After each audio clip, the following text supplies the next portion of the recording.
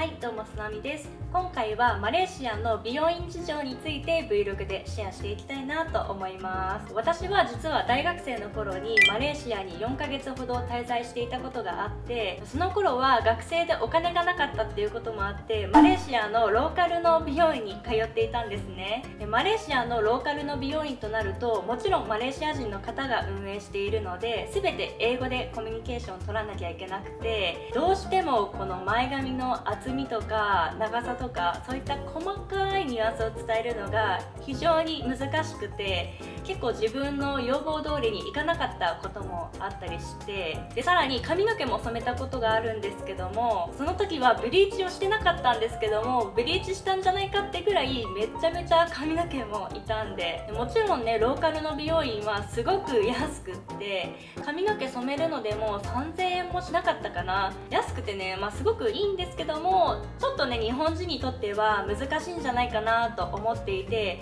どっかいい美容院ないかなって探していたところなんとあやチャンネルのあやさんがこの日系の美容院いいよって教えてくれてなのでね今回はそちらに行きたいと思います。ちなみに私は今回マレーシアに来てまだ一度も髪の毛を切っていないのでほんと久々12月ぶり？なので3ヶ月ぶりに髪の毛を切ります。それでは行ってきます。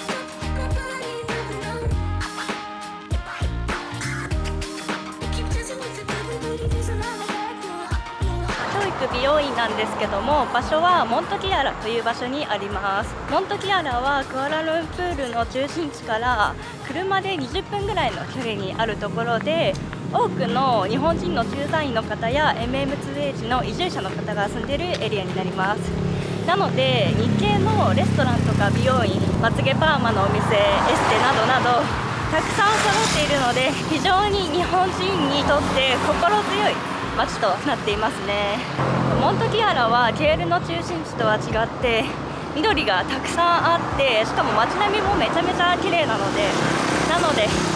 お子さん連れで移住する方とかはすごくいいかもしれないですね。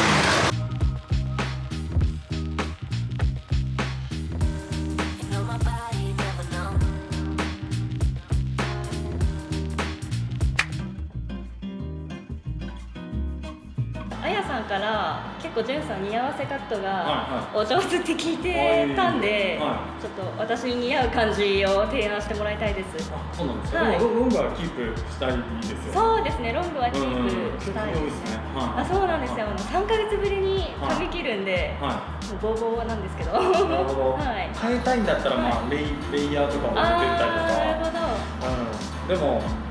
どうですレイヤー欲しいですかあレイヤーやったことあるんですけども、あんまり似合わなかったので、そう、なんか今っぽさはやっぱりそうちょっと重めにこう残してあそっちの方が今っぽい。今っぽいと思いますうんうん。顔周り切りたいとかありますか？そうです。なんかちょっと小顔に見える感じがいいです。小顔にも十分顔小さといやいやちっちゃくない。いやいや。もっと小顔にしていいですか？あお願いします。ありがとうございます。はいこれからシャンプーなのですがシャンプー台からの眺めが最高です。今シャンプー台でシャンプーをしてもらってます。これシャンプーってどこのシャンプーなんですか？ミルボンって会社のシャンプー。あミルボンなんですか、うん、ええー、ミルボンジェニールフランっていう。あめっちゃいいやつじゃないですか。えこっちって国家資格とかってあるんですか？ないですないです。ないんですか、うん、えじゃあ私やりたいですって言ったら普通に。あなれるなれる。ええー楽ですね。うん。明日から全然美容師になる。逆にはへえー、いつもどこ行ってたんですかいつも銀座にある美容院行ってたんですけども、うんうん、カラーカットで1万7000円ぐらい、うんうんえちなみにここって料金ってどんな感じでしたっけ、カットが150リンギット、はい、カラーこの長さでこの300ですああ、えじゃあ銀座の美容院より全然安い。なんか海外にある日系の美容院ってもっとべらぼうに高いイメージだったんで。そう本当はね、はい、日本よりも高くなきゃ本当はいけないんだけど、はい、ここの物価が安いからやっぱり。あそうですよね、う。ん、今って何人が多いんですかお客さんは？あ日本人8割ぐらいこの店、うん、すごい多いですね、うん、えじゃああとの2割はマレーシア人ですか？うんマレーシア人のかなまあ中華系だったりとか、えー、じじゃ英語で全部やるんですか？英語ですね。おおすごい、うん。まさかシドニーにいたから、うん。もうペラペラですよね。ペラペラじゃないですけどでもやっぱ仕事でずっと使ってたら、はい。それはさすがに。ああちなみにシドニーって何円ぐらいだったんですか？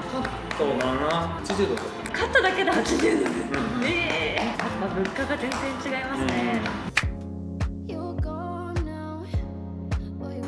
のこの下の子だけですそうですね。今までずっと日本企業で働いてたんではい髪色とかすごいうるさいんですよね。はい、マレーシア来るってなった時に結構自由なので染めちゃえと思って染 めました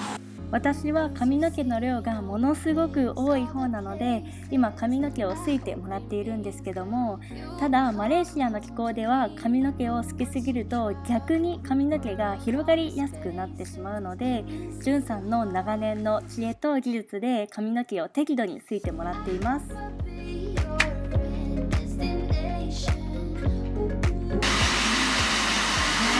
いとこはどんなことがありましたか？いいとこは農食が美味しい。ああそれはあの家が安い、安い確かに、じ実生活の中で日本のような生活ができるところがああ確かに、全然日本と変わらないサービスが受けられるのいいですよね、僕いろいろ海外回ってて思ったのが、そんなにもうなんか。外国人みたいな生活したいわけじゃないんだってことに気づいたから外国にいて日本のような生活ができるとこがいいなと思ってて、確かにそれ魅力的ですよね、そんななんかねサンドイッチとかはい。パイとか出されても嬉しくないんですよだから普通に米と味噌汁で定食が食べれるところの方が、はい。全然嬉しくて。だあからそういうの考えてマレーシアに住もうと思ったのもありました。日本のような生活ができる初めて行った時はねなんかねこうアメリカででっかいハンバーガー食べてうわー嬉しいとかそういうのあるけどもだんだんね数年経ってくると食べたいもんってそういうもんじゃないよねとか求めてるものってそういうもんじゃないよねみたいな、わかりますうんこれか？ら立てて巻いてもらいますコテとかハサミとかって全部日本から持ってきたんですか？ん、いやいや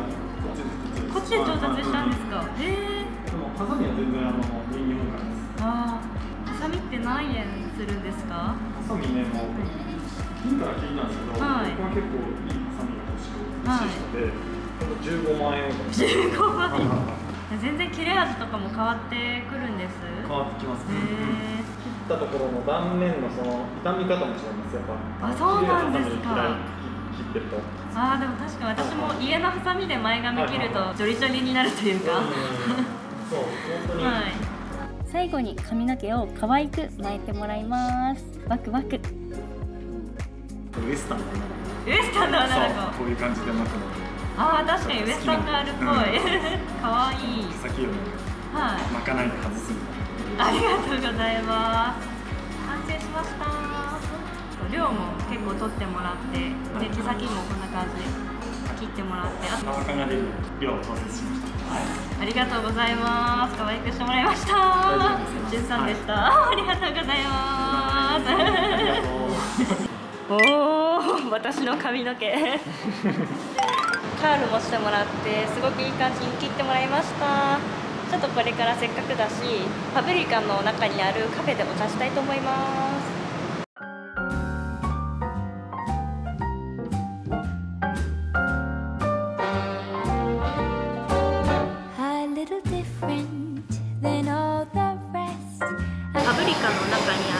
リフランスというカフェにやってきました。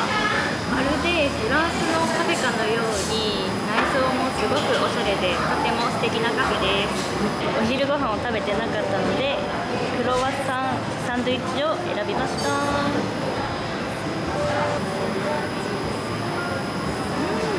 このクロワッサンは外はサクサクでそしてチーズもとろけてとっても美味しかったです。はい、こんな感じで今回の Vlog はこれで終わり。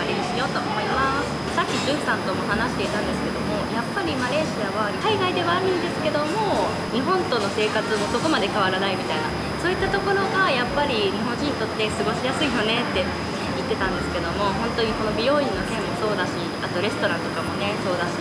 本当にマレーシアは住みやすいなと思いましたね。今回の Vlog は以上になります。最後までご覧くださりどうもありがとうございます。このチャンネルが面白かったらグッドボタンチャンネル登録よろしくお願いいたします。ます。はいではではなんでした。